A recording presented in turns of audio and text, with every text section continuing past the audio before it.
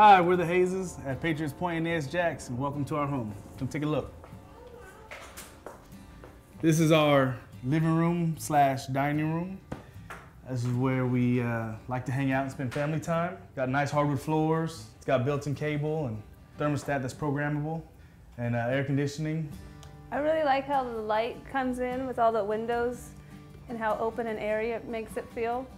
It's a great place. And here we have my home daycare area of the house. It's usually utilized for a dining room. However, I've partitioned it off and I have my home daycare over here, which gives adequate space for us to play. Next part of the house we'll be going to is the kitchen, my favorite part of the house. It has a dishwasher, a refrigerator, stove, garbage disposal. Close to it is the uh, bathroom. We have a half bathroom downstairs, which is convenient for guests and especially for the daycare for the kids to go in and brush their teeth. And, and then right off of that is a full laundry room um, with wash and dryer hookups, and it also has a sink. And I think I'm gonna let him take you guys upstairs and I'm gonna hang out with the kids downstairs. As you can see, we've made it upstairs finally, and uh, it's three bedrooms, two bathrooms, and it has a big closet at the top.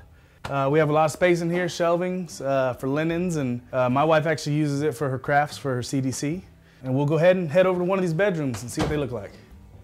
And now we are in uh, the first of the three bedrooms um, where our two youngest daughters stay. It fits two beds, um, a dresser, a large closet, uh, ceiling fan lighting, and from here we'll go to the bathroom. Here we have the second bathroom upstairs. Um, it's got a lot of cabinet space, counter space as well. Behind the door is a linen closet that way guests can access towels and things like that. And next we'll be going to the second bedroom, which is Tessa's bedroom. Speak of the devil. Hi. This is my room. Her room is the larger of the two bedrooms. It actually has a couch in it and a lofted bed and a larger closet as well. And next we'll be going to the master bedroom, which is where I like to go all the time. Welcome to my master bathroom slash bedroom. Here's the master bathroom. It is uh, his and her sinks, fully equipped with a tub and shower, and it's got a nice little window. Um, and then also we have here uh, two closets um, that I utilize, one for uniforms, one for regular clothes. Then we have a master uh, bedroom closet, which my wife utilizes for all the million things she buys every week.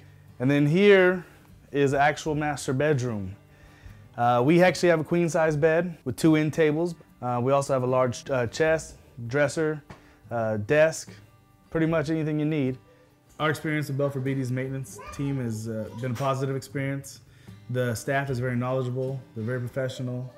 Um, they answer our trouble calls in a timely manner.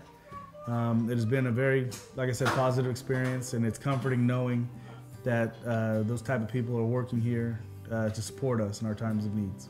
Thanks for taking a tour of our home. Hope you enjoyed it. We actually have stuff to do now. Goodbye.